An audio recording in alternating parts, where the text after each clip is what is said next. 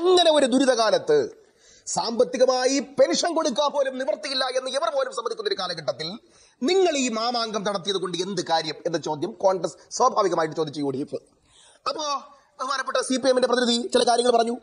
നിങ്ങൾ ഒന്നാമത്തെ സഭയുടെ കാലത്തും ഇത് തന്നെയാണല്ലോ പറഞ്ഞത്. രണ്ടായിരത്തി പതിനെട്ടിൽ ഒന്നാമത്തെ സഭ കൂടിയപ്പോൾ നിങ്ങൾ പറഞ്ഞത് വലിയാത്ത മാറ്റമാണ്. പ്രവാസി ക്ഷേമത്തിന്റെ വലിയ അളവുകൾ ഇവിടെ വരാൻ പോകുന്നു. പ്രവാസികളുടെ നിക്ഷേപങ്ങളും അതുപോലെ തന്നെ സ്വകാര്യ സ്വത്തുക്കളും അവരുടെ സംരംഭങ്ങളും കൊണ്ട് മൂടപ്പെടുകയാണ്. വർക്ക് സ്കിൽ എന്ന് പറയപ്പെടുന്ന സംവിധാനത്തിലൂടെ ലേബർ രംഗത്ത് കുതിച്ചുചാട്ടമുണ്ടാകാൻ പോവുകയാണ്.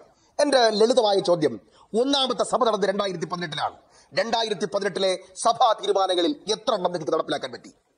എത്ര എണ്ണം നടപ്പിലാക്കിയത് കൊണ്ട് ഇവിടുത്തെ സാധാരണക്കാരായ പ്രവാസിക്ക് ലേബർ ക്യാമ്പുകളിൽ അടിമകളെ പോലെ കഴിയുന്ന ഇവിടുത്തെ ഏറ്റവും വലിയ പാവപ്പെട്ട പ്രവാസിക്ക് നിങ്ങളുടെ ഒന്നാമത്തെ സഭയുടെ തീരുമാനം കൊണ്ട് എന്തെങ്കിലും ഗുണമുണ്ടായിട്ടുണ്ടോ? നിങ്ങൾ രണ്ടായിരത്തി ഇരുപത്തിരണ്ടിൽ വീണ്ടും രണ്ടാമത്തെ സഭ കൂടി. രണ്ടാമത്തെ സഭയുടെ തീരുമാനങ്ങൾ കോൾഡ് സ്റ്റോറേജിൽ വെച്ചതല്ലാതെ എന്തെങ്കിലും ഈ കേരളത്തിന്റെ പൊതുസമൂഹത്തിന് ഉണ്ടാക്കാൻ കഴിഞ്ഞിട്ടുണ്ടോ? ഇപ്പോ നിങ്ങൾക്കറിയാം എന്നാൽ ചിലർക്ക് അതിന്റെ കൂടെ ഗുണമുണ്ടായി. ഗുണമുണ്ടായത് ആർക്കാണ്?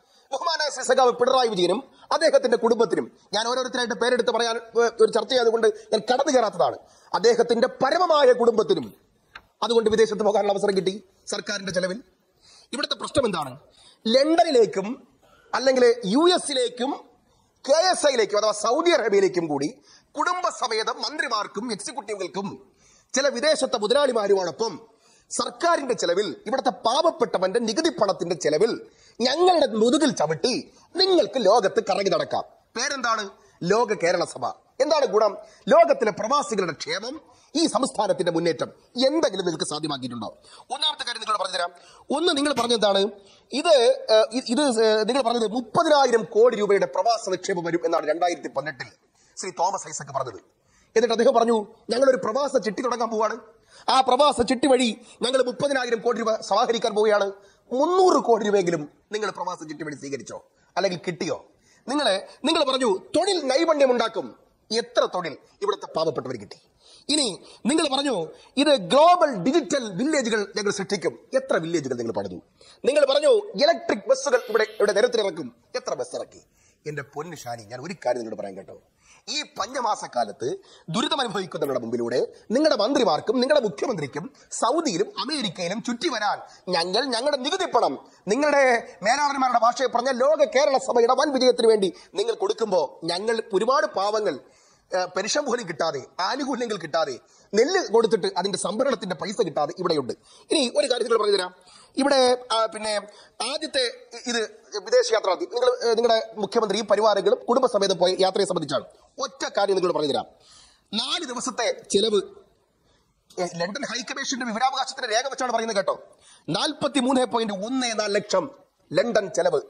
ഹോട്ടൽ ബില്ല് ഹോട്ടൽ ബില്ല് എന്ന് പറഞ്ഞാൽ ഹോട്ടലിൽ സെപ്പറേറ്റ് ആയിട്ട് താമസിച്ചത് പതിനെട്ട് പോയിന്റ് അഞ്ച് നാല് ലക്ഷം. ഇനി ഇതിന് പുറമെ കാറെടുത്ത് മാക്സ് ഇവിടെ മാക്സിന്റെ ശവകുടീരം ഉൾപ്പെടെയുള്ള മ്യൂസിയം ഉൾപ്പെടെയുള്ള സ്ഥലങ്ങളിൽ നിങ്ങൾ പോയത് ഞങ്ങൾ കൊടുക്കേണ്ടി വന്ന നികുതി ഇരുപത്തിരണ്ട് പോയിന്റ് മൂന്ന് എട്ട് ലക്ഷം. എയർപോർട്ടിൽ ലോഞ്ചിൽ നിങ്ങളുടെ മുഖ്യമന്ത്രിയും മുഖ്യമന്ത്രിയുടെ കുടുംബാംഗങ്ങളും ലോഞ്ചിനകത്ത് സൗക സൗകര്യത്തിൽ ഇരുന്നതിന് കേരളം കൊടുക്കേണ്ടി വന്ന പണം രണ്ട് ലക്ഷത്തി ഇരുപത്തി ഒന്നായിരത്തി അഞ്ഞൂറ്റി തൊണ്ണൂറ്റി രൂപ. ഇനി ഇതെല്ലാം ലണ്ടൻ ഹൈക്കമ്മീഷൻ തന്ന കണക്കാണ്. ഇതിനപ്പുറം വേറെയും ചില കണക്കുകളുണ്ട്. എന്ന് പറഞ്ഞാൽ നിങ്ങളുടെ രണ്ടാമത്തെ ലോ കേരള ലോക്സഭ ലോക കേരള സഭയുമായി ബന്ധപ്പെട്ട് നിങ്ങൾ പോയതിന്റെ ചെലവുകൾ ഇവിടെയുണ്ട്. ഇനി നിങ്ങൾ ഞങ്ങളുടെ മുമ്പിൽ പറഞ്ഞു തരേണ്ടത് ഇതാ ഞങ്ങൾ പോയത് കൊണ്ട് വന്ന ഇന്ന ഇന്ന മാറ്റങ്ങൾ.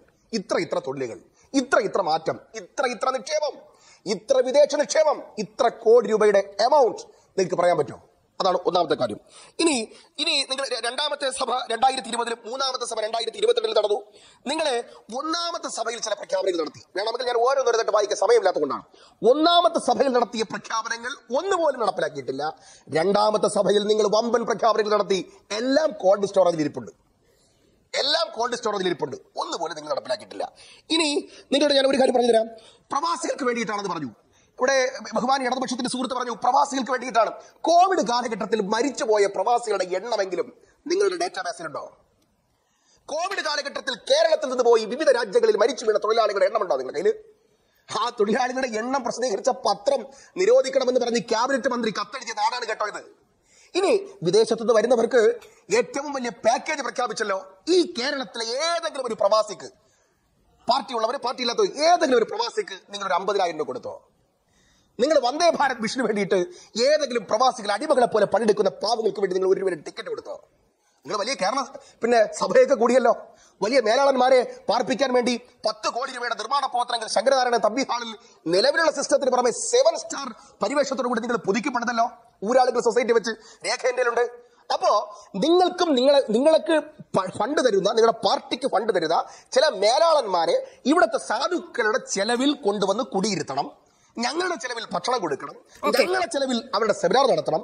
ഞങ്ങളുടെ ചെലവിൽ നിങ്ങൾക്ക് ഇതെല്ലാം കൂടി വെച്ചു വെക്കണം എന്നിട്ടോ റിസൾട്ട് ഒന്നാം സഭയിൽ സീറോ സെക്കൻഡ് സഭയിൽ സീറോ മൂന്നാമത്തെ സഭ കൂടാൻ പോകുന്നു. ഈ ഉത്തരവ് ഈ പഞ്ചമാസക്കാലത്തെ ഉത്തരവ് സാധാരണ ജനങ്ങളുടെ നേരെയുള്ള കൊഞ്ഞണം കുത്തലാണ് അവരുടെ മുഖത്ത് തുപ്പലാണ്. അത്ര ദുരിതത്തിലാണ് കേരളം. അതുകൊണ്ട് ഒന്നാമത്തെ ഘട്ടത്തിൽ എനിക്ക് നിങ്ങളോട് പറയാനുള്ളത് ഈ ദൂർത്ത് ഈ അഴിമതി ഈ കൊടിയ അഴിമതി ഈ ഒന്നിനും കൊള്ളാത്ത നിങ്ങളുടെ ഇടപെടലുകൾ കുറെ പ്രഖ്യാപനങ്ങൾ ഇതുകൊണ്ട് കേരളത്തിന് ഒരു ഗുണമില്ല എന്ന് മാത്രമല്ല കോടികളുടെ നികുതി പണത്തിന്റെ നഷ്ടമാണ്. ഇത് അനുവദിക്കുന്ന പ്രശ്നമില്ല എന്നുള്ളതാണ് ഒന്നാമത്തെ ഘട്ടത്തിൽ പറയാനുള്ളത്. ഓക്കെ. ഇതിന് നേരത്തെ ശ്രീ വൈശാഖൻ മറുപടി പറഞ്ഞു തുടങ്ങുന്നുണ്ടായിരുന്നു. നേട്ടങ്ങൾ